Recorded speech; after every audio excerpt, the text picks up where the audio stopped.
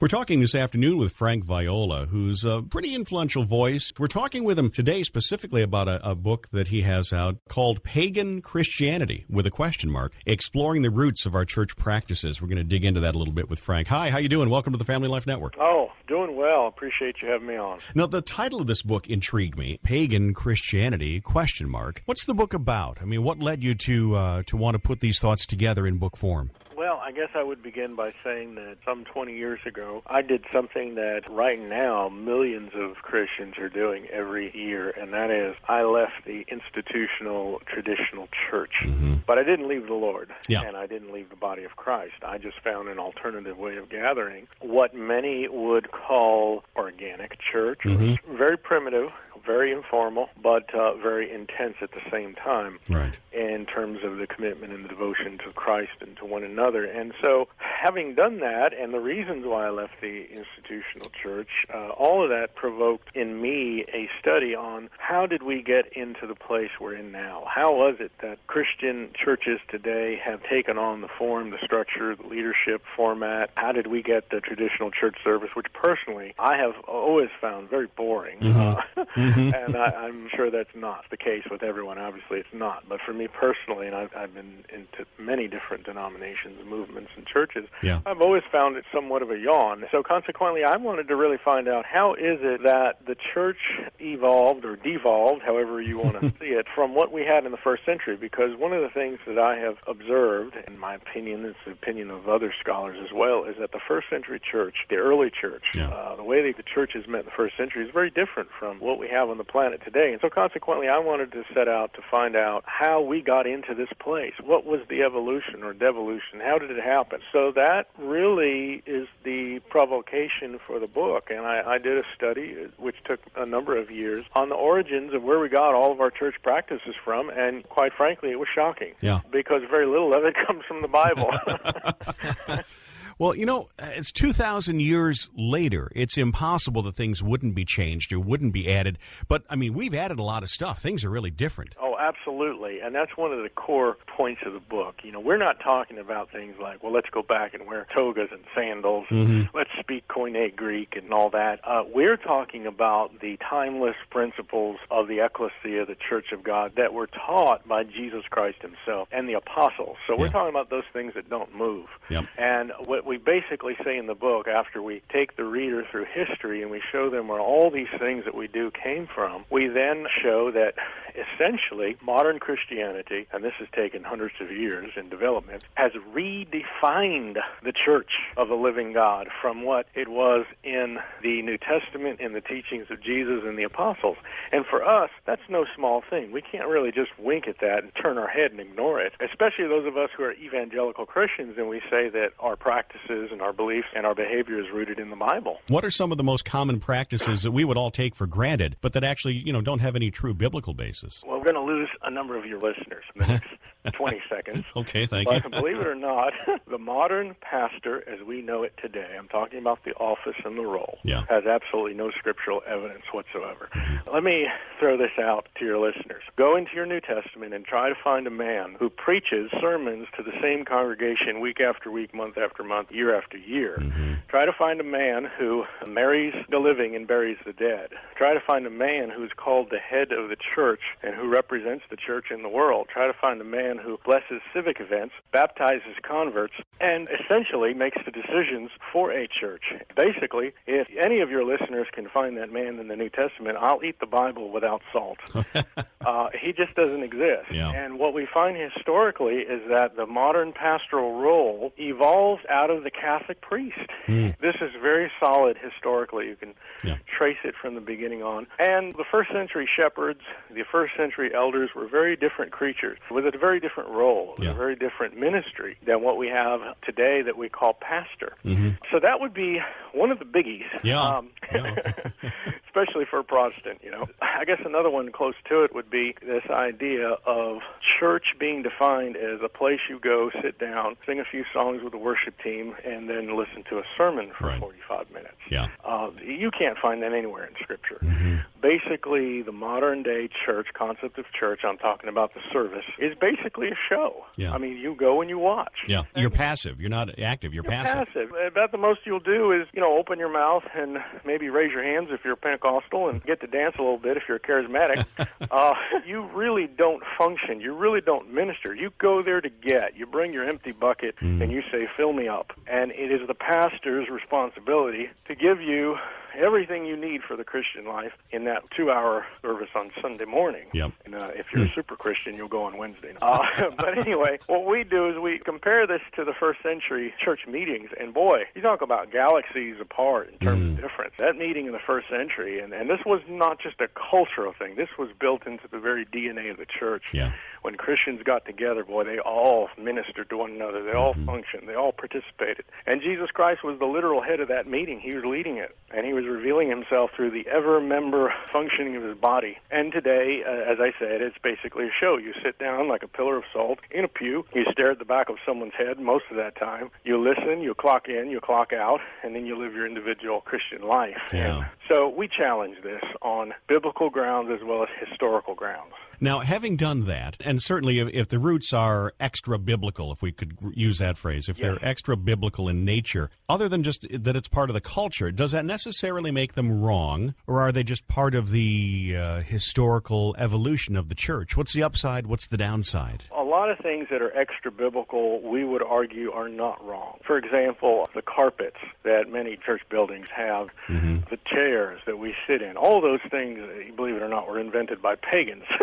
that doesn't mean they're wrong. Gosh, I'm a fan of carpets and chairs. Yeah. And I have no problem with the calendar that we use, Right, uh, which is right. pagan in origin. Yeah. But we are really addressing the practices that have redefined the church Mm-hmm. and have, in a sense, violated Mm-hmm. the New Testament teachings of what God designed the church to be. Okay, for example, let me give you a small example here. Yeah. Jesus Christ said to his disciples, it's recorded twice in the Gospels. He said, Look at how the Gentiles lead. Basically, he said, they lord it over one another. And the Greek word there for lord it over, the words mean top down leadership, hmm. hierarchical leadership. And the hmm. Romans perfected that. They got it from the Babylonians. Yeah. And we see it all over corporate America. We Sure. see it in our military. You know, you Yeah. got somebody at the top, then you got others at the bottom, and then the rest of the little peons, you know, mm-hmm. way below being led by the top. It's hierarchical structure. Yeah. Well, Jesus said, This is how the Gentiles lead. And then he told his disciples, It shall not be so among you. Hmm. And yet, the typical church, whether you're a Catholic or a Protestant, you have a hierarchical leadership structure. And we point out that this violates the teachings of Jesus Christ. Yeah. And uh, we believe that that's wrong. So, really, the question is does this practice hinder what God designed the church to be? Does it violate? Does it contradict a principle of Scripture or t- a teaching that came from the lips of our Lord, of the apostles? And if it does, and we say we're evangelical Christians, Yeah. Who believe the Bible to be authoritative, then we have a crisis of conscience. We have to make a decision and say, well, we're going to go with tradition or we're going to go with the Word of God. Yeah. And that's really what we're doing in this book. We're pushing that question to the reader and asking the reader to answer that question themselves. Do you think we're so heavily uh, enculturated and it becomes almost, you know, the whole evangelical subculture becomes its own entity? I mean, are we able to break out of that and look at things differently, or are we just so locked into it that this is the way it's always been that tradition almost seems more real to us than Scripture does? It's an excellent question, and I think it comes down to the individual Christian. We have received thousands of emails and letters from people who have read the book since it came out. And by the way, to our shock and surprise, it's become a bestseller. Hmm. So there's a real hmm. hunger and a desire for God's people Yeah. to question what they're doing when it comes to church. The fact of the matter is, one million Christians a year, and I'm talking about adult Christians a year, Yeah. leave the institutional church. That reveals something. You know, something's happening. And the interesting thing is, many of those Christians are not leaving the Lord. They're finding the body of Christ in more primitive expressions. But getting back to your question, Uh, I would say to you, and this is interesting to me, mm-hmm. is that 85 to 90 percent of the mail that we get is basically saying something like this you in this book have put language to what I have felt for many years as a Christian. Mm-hmm. I always knew something was wrong with church, but I just didn't know what it was. And now I know, and now my conscience is free, and I feel liberated, mm-hmm. and so on and so forth. And interestingly enough, some of these letters are from pastors. I got uh, a, an email from a pastor not long ago, and he said, For the last 13 years, I have felt guilty for taking money from God's people mm. for preaching sermons and being a pastor when many of these people in the congregation are a lot poorer than I am. Yeah. And then he raised all these questions. Like one of them was, how come we spend all this money on buildings and maintenance and professionals just for two hours on Sunday morning? you know? And uh, so consequently, it comes down to the individual Christians. There are some Christians, however, that for whatever reasons, they really have issues with the book. Yeah. As if they feel personally personally threatened. Some of them, quite frankly, have gotten angry. I'm not surprised. Yeah. Yeah. well, you understand, and uh, you know, tradition is powerful. Mm-hmm. Jesus Christ said this and I find it arresting. He said to the Pharisees and the Sadducees, and I'm not implying that Christians are Pharisees and mm-hmm. Sadducees, but I'm using this analogy to talk about the power of tradition. Yeah. He talked about the fact that all throughout Scripture, you see that one of the most powerful forces in the universe is the Word of God. You know, in Isaiah it says the Word of God will prosper wherever it goes, it will flourish wherever it's planted in Hebrews it says the word of God is sharper than any two-edged sword, mm-hmm. cutting asunder spirit and soul and so forth. And yet Jesus makes this statement to the religious people of his day. He said, "You have stopped the word of God dead in its tracks by your tradition. Mm. By your tradition, you nullify, you make void the Word of God. I mean, if it could stop the Word of God, that's, that's something pretty powerful. Sure is. Well, now, the house church movement has been around for a while, but according to what I read or the people I know, some of whom are involved in it, it, it seems to be growing at a much faster rate uh, lately. Do you attribute that to a, a growing awareness, the fact that people are just feeling like they're missing something in a big church? Uh, no question about it. And the way I would put it is right now we're living in a day where God's people are getting in touch with their spiritual instincts. Mm-hmm. We all have, as Christians, the Holy Spirit living in us. Consequently, have spiritual instincts. And those spiritual instincts, when we are in touch with them, they crave spiritual fellowship, authentic community, every member functioning, small group participation, family. I'm talking about the church as an extended family. Yeah. And that which is real and living. And so, consequently, what's happening today is we have millions of Christians, for whatever reasons, and I don't pretend to know the reasons, mm-hmm. but we're living in a day where, I'll use George Barna's term, revolution. There's a yeah. revolution happening. Yeah. And God's people are getting in touch with their, their inner spiritual instincts, and for that reason, many, many of us are leaving the institutional church, and we're finding Jesus Christ and we're finding fellowship outside the walls of the church building. Mm-hmm and it is revolutionary. George wrote a book called Revolution in 2005, and Pagan Christianity is actually the sequel to that book. But he talks about this trend and how it's increasing, and he predicts over the next 20, 25 years, it's going to be a monumental shift happening in the Christian landscape. Well, as organic churches or house churches then uh, become more prevalent, and as they may be likely to grow, what are the downsides of that? I mean, do they run the risk that you think is affecting the broader church? I mean, getting too big or too programmed themselves? Oh, it's always a potential for an organic church to revert back to an institutional kind of format. There's no question about it. And there's an antidote to that. However, the potential is there. Mm-hmm. Also, too, the kind of problems that a Christian will face in an organic church are very different from what they'll face in an institutional church. Mm-hmm. To give them the flavor of what kind of problems we're talking about, all they got to do is open up the letters of Paul mm-hmm. and read all the problems he had in Thessalonica, yeah. Philippi, yep. the Corinthians, oh, yeah. And you will get a good feel for the kind of problems that happen in organic churches. The interesting thing is that so many of the problems that the Christians were having in the first century that Paul was addressing never really happen in an institutional church. And it's because the people really don't get to know one another all that well yeah. for the most part. And secondly, the kind of meetings we have in institutional church just don't fit the bill. Sure. Uh, for example, in First Corinthians, Paul talked about their chaotic meetings and how some were speaking over others and so forth. And one one of the anecdotes he gives is he says, well, when someone gets up to share in the church meeting, if someone is sitting down and gets a revelation, an insight while the first person is speaking, let the first person speaking stop and be interrupted by the second person. Well, that would never happen yeah. in an institutional church service. Yeah.